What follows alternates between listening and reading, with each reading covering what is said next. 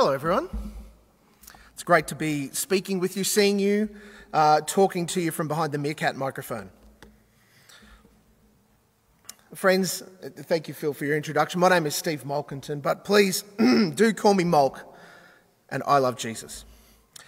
I'm a pastor in the Uniting Church, working as a part of the Pulse team within the New South Wales ACT Synod, so across the two states that are connected down here. Our team, the Pulse team, uh, is focused on developing, resourcing, and supporting work with emerging generations, everyone up to about the age of 30, give or take. And my role specifically connects with the northern parts of our state. So that's about from here right up to the border and out as far west as Goondiwindi ish. Uh, it also has a statewide focus on ministry with young adults. Otherwise, I'm Michelle's husband, Luke and Lily's dad, a devoted lover of Lego and smoked meat, and I don't mind playing some guitar. Thanks so much to Phil and to Jonty for the invitation to share with you today.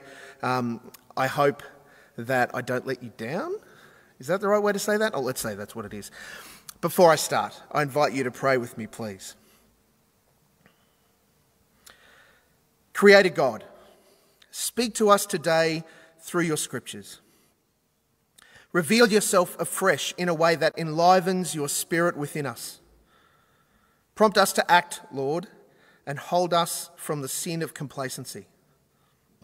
In these words, may we hear your voice. All for your glory and your kingdom. Amen. I acknowledge that sharing your story can be tough in no small part because it means that you have to share things that make you vulnerable. In this spirit of vulnerability, I ask you, please, to be gentle and warm as I give you an overview of my life so you get a bit of an idea as to who I am. I was born at a young age, long, long ago, in a galaxy far, far away, late last century, and was dragged up in a uniting church at a time when books had no E and were made of thinly sliced tree. I remember fondly walking down the lane from one church building to the next in Dubbo, leaving church to go to Sunday school. I remember my parents and both sets of grandparents loving me and encouraging me to grow in my faith, as did many within the Kawana Waters Uniting Church, where I spent my teenage years with my family. These people encouraged me by helping send me to two NCYCs. Remember them? Uh, events that broadened my faith horizons and transformed my understanding of Jesus. It stirred within me a calling I didn't properly understand or get to apply until much, much later in life. This calling that allows me to reflect on one of my first big decisions after I gave my life to Jesus during confirmation classes when I was but 13. Now, I enjoyed science when I was at school, and I know you'll be surprised to hear this. I was a bit of a nerd. I had decided, through no consultation with others, least of all God, that I was going to become a forensic chemist long before CSI made it sound cool. This is what I was preparing myself to do through careful subject selection and occasional study. I got the marks that I needed to go to uni, and I was doing okay in all of my subjects. As soon as I learned that pracs, however, were just me making my little titration or resultant assay, whatever, and we didn't get to work in groups anymore, I knew a life in science was not for me trying to contain this extrovert in a lab coat and not being able to talk with people was never going to work. So God opened a window. Not really knowing what it was, I toured in 1992 as the sound guy for a Christian touring ministry called Travelers. That is a great photo directly from 1992, friends. It was incredible and for me confirmed that involving myself in ministry was something, was somehow the thing I needed to do. The stories from this, uh, uh, from this time are best served later at night on a couch, preferably with some form of beverage. um, or maybe next time I get to share with you. I didn't totally know what this call to ministry meant. And I'd only deferred uni for 12 months, so I still had that chemistry degree to go back to. Now, I won't bore you with some of the fine details. I didn't finish that chemistry degree, and there is a lot of water under the bridge from here. I applied within the Uniting Church, we call this candidating. I candidated twice in 1993 for the specified ministry of youth worker, which was a thing back then, and again in 1994, this time to be a minister of the word while I was working at Laidley Hatton Vale Uniting Churches in the Order of St. Stephen.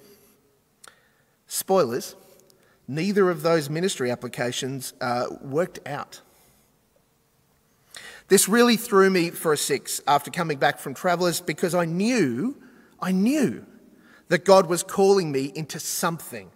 And here was the church telling me that essentially they didn't want me. It was a huge blow, and one that has taken a lot of work to process and for me to come to some understanding about. I got married uh, not long after I turned 21, uh, and not long after finding out I wasn't accepted to be a minister. Looking for work, I took a job on the Central Coast and we moved from Brisbane to Terrigal. Sadly, my first wife and I broke up in 1999 and we both separately moved back to Queensland, alone and broken. It is no surprise that I was asking some big questions of God during these times, not least of which was what's the deal? I was prepared to do whatever God wanted, and I did my best every time I had an opportunity to be involved in God's mission. I met Michelle in, uh, and we married at the end of 2001. We're shortly about to celebrate 19 years of marriage, and while the things she has taught me are too numerous to list, most seem to involve picking up after myself and saving rather than spending my money on fun, frivolous things. I leaned into my burgeoning IT career. I figured this was something I knew a little about and could turn my hand to it and managed to mostly stay employed up until about 2016 when I was made redundant for the fourth time in my working life. During this time, I served in a variety of ways in my local congregation, uh, mostly in the music ministry. An opportunity in 2016 opened up within the Queensland Synod, uh, within the Digital Discipleship Project. And after three different people sent me the ad and told me to apply for it, I did. God was at work. And I was prepared to do whatever was necessary to fulfill that which I believed that God was calling me to. Are these working? Here we go. I need to go back one. There we go. During that time in Queensland, I established Breadfish 2, a digital, in real life hybrid community of young people who loved Jesus a little and wanted to love him a whole lot more. This door opened for a calling into the Pulse team, which brings me to stand in front of you today. Friends, I can absolutely testify to the grace, mercy, and love of Jesus Christ. Without it, I would have long given up on this entire Christianity thing.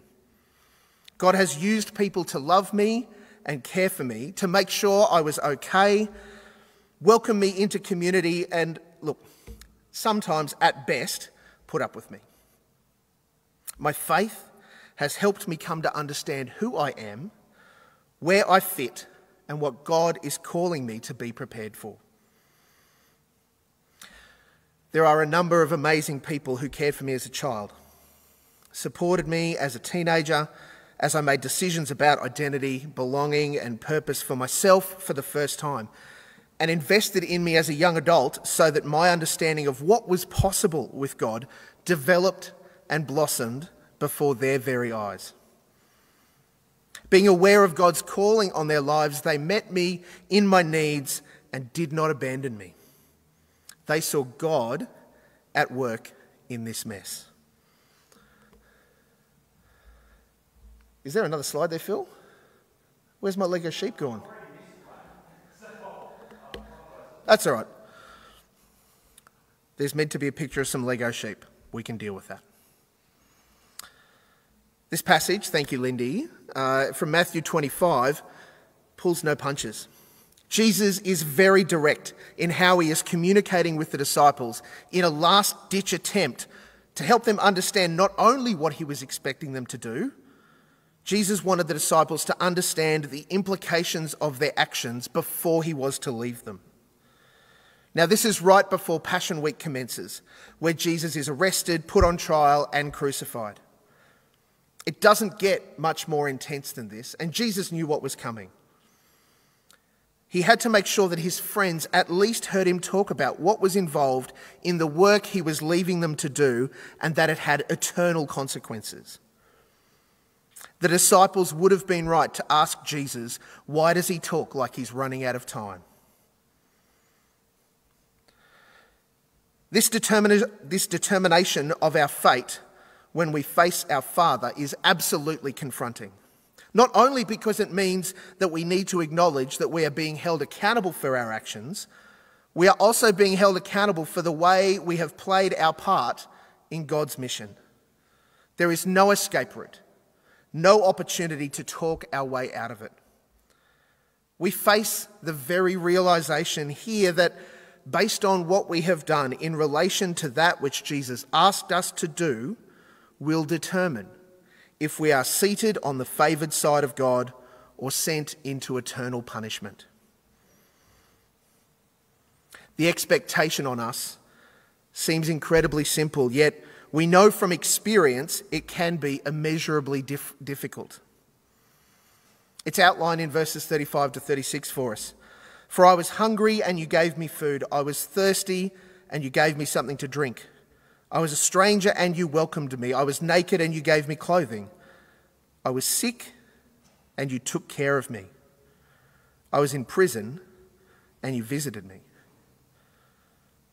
Now, we should know by now that when the Bible repeats something, when something's repeated in the Bible, it's to make sure that we know it's important. In this passage alone, the expectation of who and how we help is repeated a total of four times. Dietrich Bonhoeffer reminds us that this call to action is no mistake. He, being Jesus, comes to us in the form of a beggar, of the dissolute human child rag in ragged clothes, asking for help. He confronts you in every person that you meet. As long as there are people, Christ will walk the earth as your neighbour. God continues to be at work around us and within us. The real question that we need to ask what are we prepared to do about it?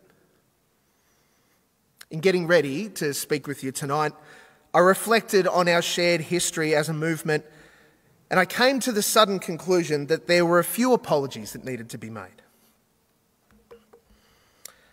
Young people, I am sorry that we let you down when we ended the specified ministry of youth worker.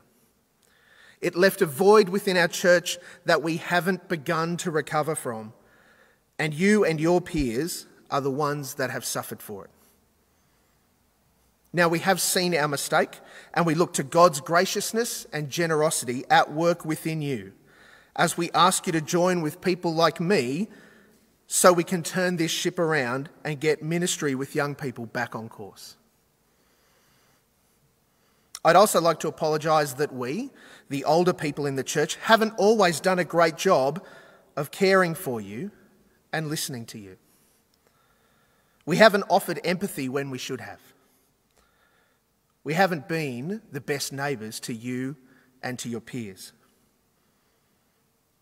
We haven't offered you a safe place where you could develop your own sense of identity, belonging, and purpose knowing that we could have stood beside you in all of it, and we should have loved you.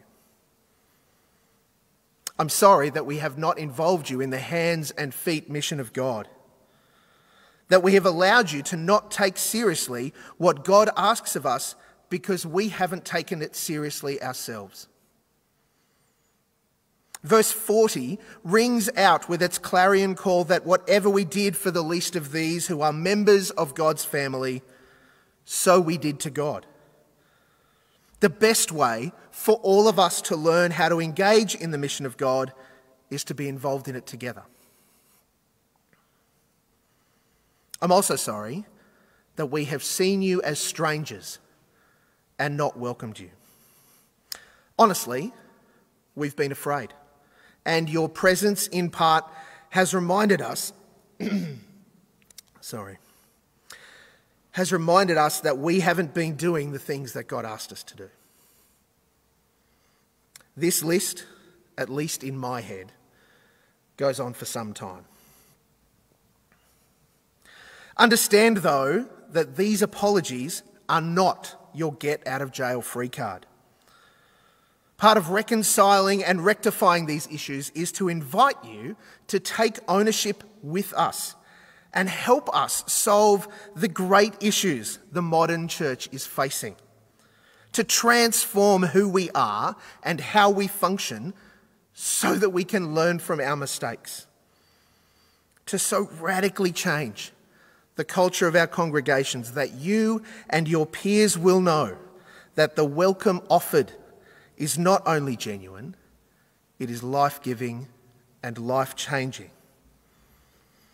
So, what are you prepared to do?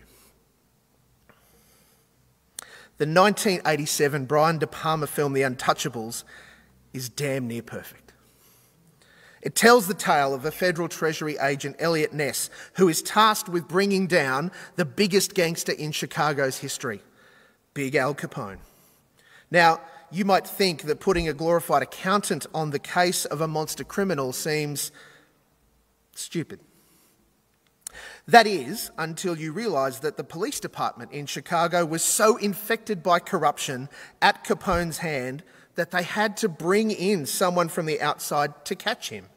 And it turned out the best way to do that was to prove that he hadn't paid income tax in nearly 12 years. Kevin Costner stars as Ness in his first lead role. Robert De Niro put on 30 kilograms to play the mob boss Al Capone. It's Andy Garcia's first feature film, and Sean Connery absolutely owns this flick as the former Irish beat cop turned Ness Sam Malone. Uh, so turned Ness mentor Sam Malone. It has the most magical soundtrack, haunting and full of tension. The story is phenomenally and brutally told, which is why we're not about to see a clip from the film, as much as I would like to show you. Uh, look, I appreciate it's no Joan of Arcadia, but what is? All through the film, Malone keeps challenging Ness, asking him how will he catch Capone. Malone knows that Capone won't play by the rules and urges Ness to keep thinking how far he is willing to go to pursue this gangster. At a key moment, Malone admonishes Ness when the latter questions himself at overstepping the boundaries of the law. He puts one of yours in the hospital, you put one of his in the morgue. That's the Chicago way. As we reach the climax of the film, the team learn that Capone's bookkeeper is on a train out of Chicago to lay low while the heat is applied to his boss in court. Only the bookkeeper can decode the ledger that has been kept so that it reveals who has been paid and how profitable Capone's business is, critical to Ness's case. Malone learns that the bookkeeper is on a train at midnight and tells Ness to meet him at his apartment later that evening so he can give him this vital information. Before Ness can arrive, Malone is brutally gunned down by Frank Nitti, Capone's number one hitman. Somehow, Malone drags himself along the hall floor to his lounge, blood seeping from multiple bullet wounds to his chest, legs, and arms. Ness arrives to find his friend almost dead on the floor. He kneels down next to him, cradling him as Malone lets out a pain filled cry and reaches for the time, tra- time trained timetable so in his last breaths he can give Ness the detail he needs to put Capone away. He grabs at the timetable and thrusts it at Ness. And with every last ounce of effort, he wheezes and coughs out a question that haunted Ness the entire film. What are you prepared to do? Ness grabs the phone and calls for an ambulance, but it is too late. Malone has given his life in aid to Ness to see Capone face justice. So, what are you prepared to do?